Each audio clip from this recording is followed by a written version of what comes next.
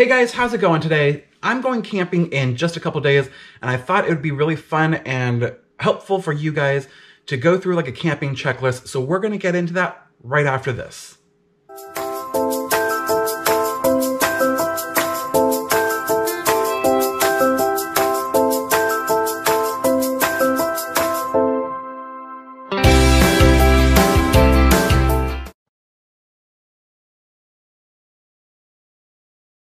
Hey guys, so like I said, I am actually going to be going camping in two days, and I'm here, I'm kind of going through everything that I have and kind of comparing it with my friends.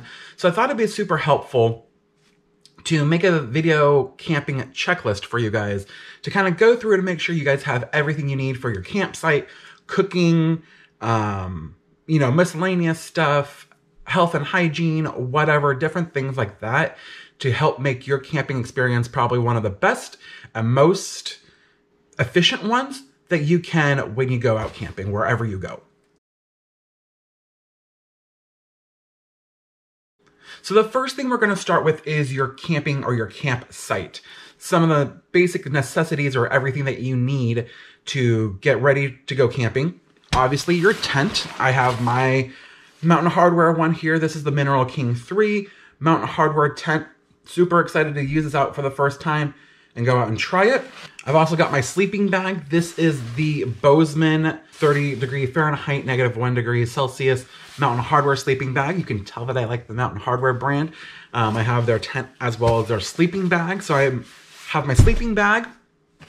I also have my air mattress here, all set, ready to go. You can use a cot if you want. You can use um, mattress pads.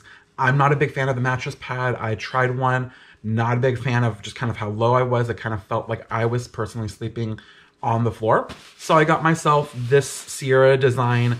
Um, I think it's like a queen or a full from Costco. One of the other things you want to have, camping chairs. These are those typical ones that you see out that are, um, you know, like you see them at the beach. You see them, I call them the soccer mom chairs because you see them a lot of like sporting games and stuff. But this one no sponsor needed, but this was from Valley View Casino because they were giving it away for free. So my parents got like four of them, taking this one camping with us. Some other things that you might need, definitely lanterns. You can tell that I got these from Costco. They are not opened yet, but I'm super excited to try these out. Um, they come with batteries, so that was one of the reasons why I bought this. But it was also on sale too at Costco, so I'm super excited to try out the lanterns. And just a little bit more lighting. Um, I have my headband here. This I got from REI. I'll link all the things that I have down below in the description box. Um, but this specific headband I got was from REI. It's got three different settings. I'll shine it down. Low, medium, and high. And also, it goes red too. So there's a red light. I don't have to disturb anyone if I get up in the middle of the night. If I need to go to the restroom or anything, I can just throw on the red light. Headlamp lasts me pretty good month with a solid charge. That's just me and how often I use it. Not saying everyone's gonna get the same thing, but some of the other things that you might consider bringing for your campsite to kind of make your camping experience a little bit more pleasant, um, like a pop-up tent, one of those shade structures, hammock, like I said, cots, and if you don't want to use um, a mattress pad or um, a blow-up mattress, firewood, of course, for, you know, roasting s'mores, roasting hot dogs, whatever. Um, maybe a tablecloth for if there's a table that's at your campsite or if you bring your own pop-up table, you want to put a nice tablecloth on it. And then if you are going camping for a couple days, maybe clothesline with some clothespins on it so you can dry bathing suits, any t-shirts that get wet, anything like that. The next topic we're going to talk about to bring camping with you is tools and repair items.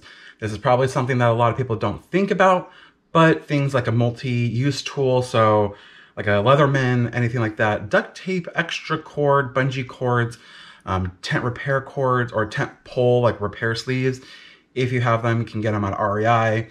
Uh, mattress or like mattress pad repair kits in case you get a hole in your mattress, then you're not going to have anything to sleep on. So you want to make sure you bring some mattress pads or like a repair kit for that. a mallet or a hammer if you need a hammer in the stakes into the ground and it's just a little bit tougher. You can't push it in like if it's regular dirt.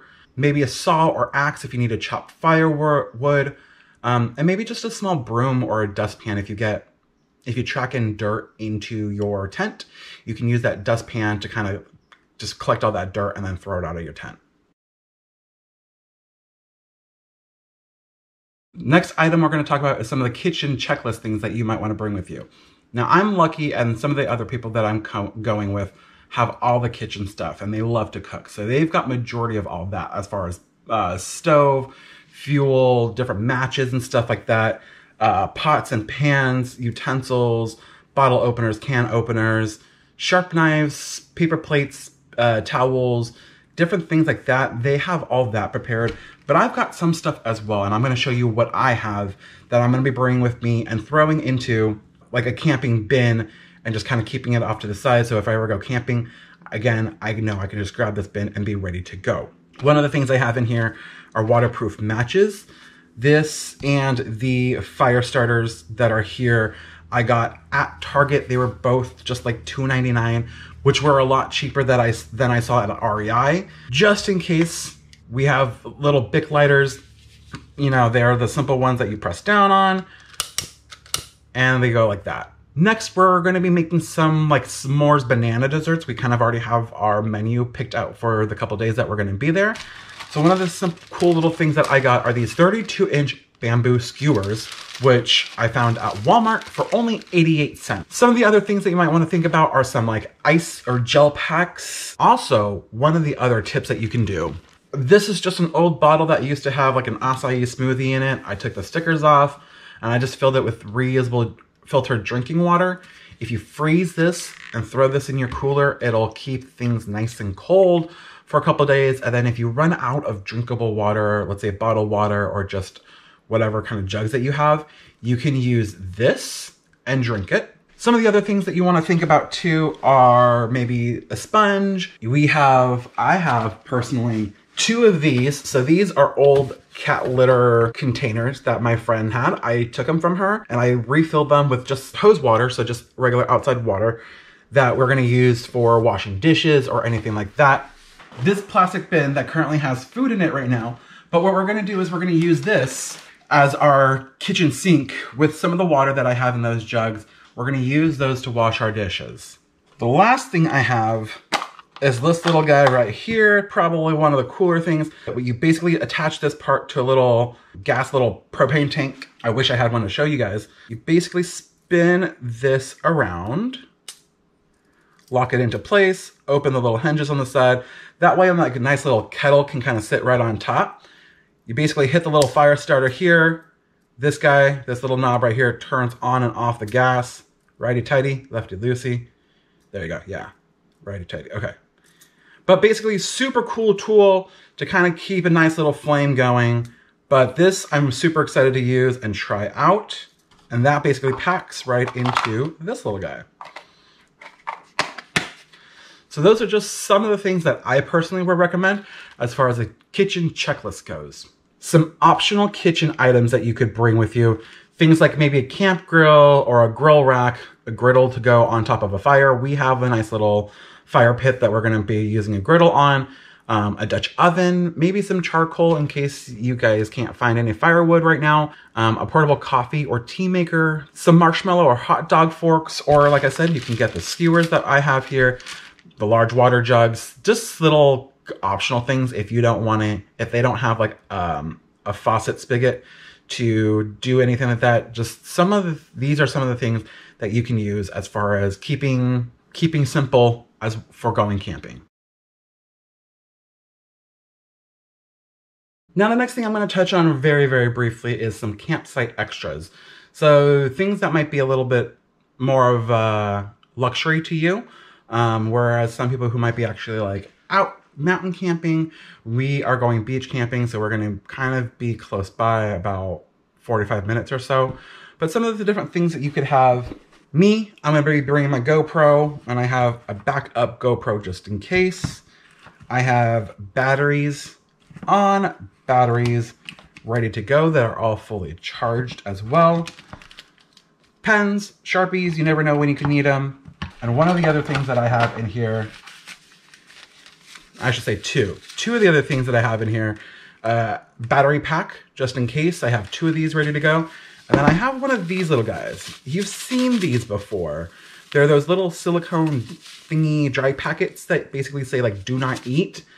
I carry these guys with me around just in case, because basically what they do is they keep humidity and like moisture out of stuff.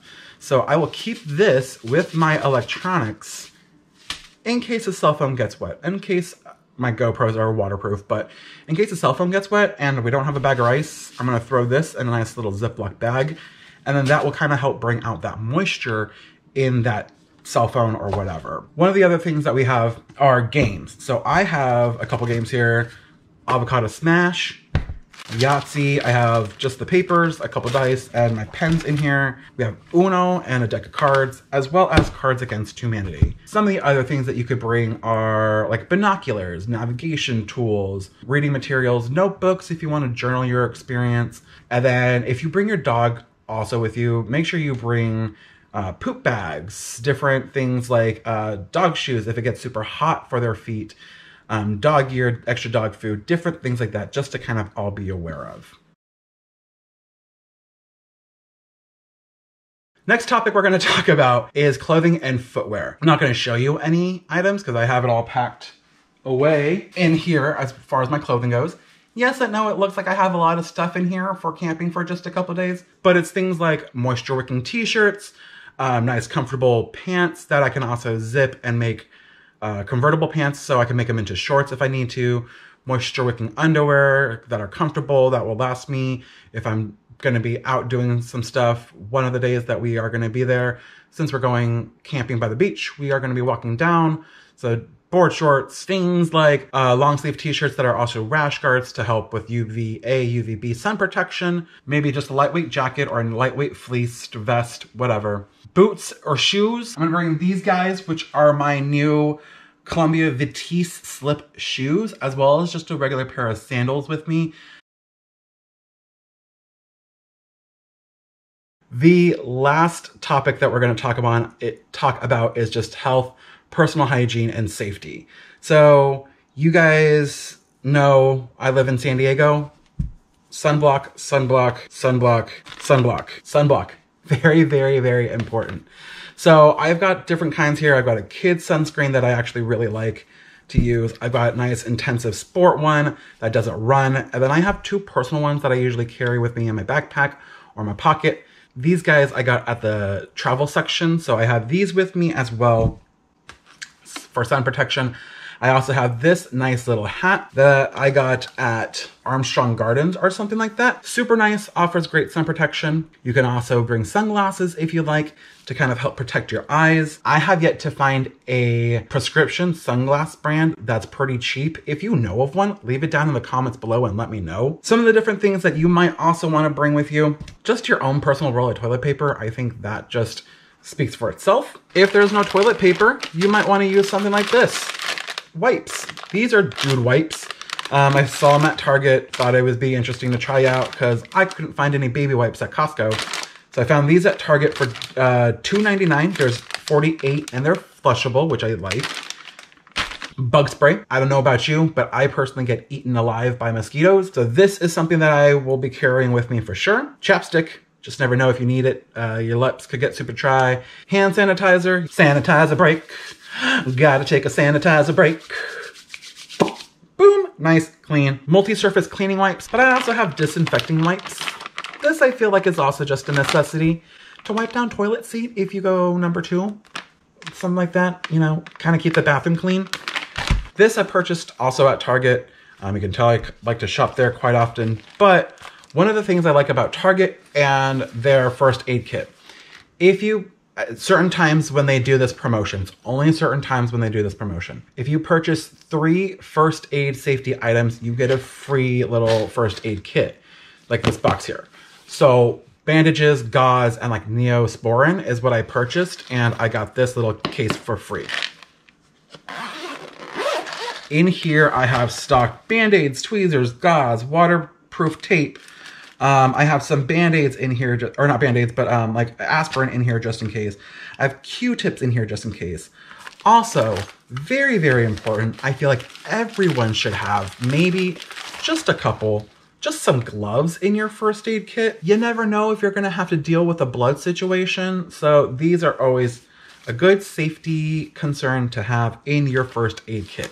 If you don't have a pair of latex gloves in your first aid kit, I recommend getting a box and maybe just putting a small handful in there just to keep some first some gloves in your first aid kit. But a lot of these things, um, the waterproof tape, this small roll of gauze that I got, and a couple just gauze pads, I purchased at the Dollar Tree and I mean, they have great stuff. So guys, thanks so much for watching this video. I really hope this camping video checklist really helped prepare you for your next camping adventure.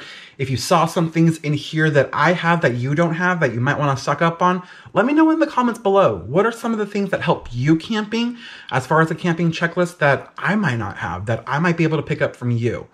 So let me know in the comments down below what you guys think of. Thanks very much for watching this video. I really hope you guys enjoyed it and it really did help you out again. If this does, if this video does help you out, please click that like button and then subscribe to my YouTube channel. I put out a new video every Friday at 8 a.m. Again, thank you so much for watching. I hope you guys enjoyed. I'll see you guys soon. Bye.